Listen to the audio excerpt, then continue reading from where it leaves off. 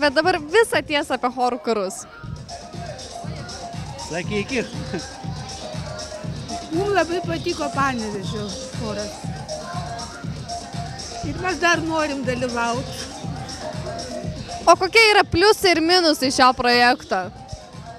Pliusai, kad mes gavom kažką tai šilto ir e, atsipalaidavom visi. Ir, ir, nu, sakykit, jūs ką nors. Mes labai dėkingi žmonėm ir taip, kad mes čia tiek pratempėm. Matau, kad žmonės balsuoja dabar už kitus chorus. Man tai patinka labai panevėžio choras, labai talentingi žmonės. 16 Hz irgi.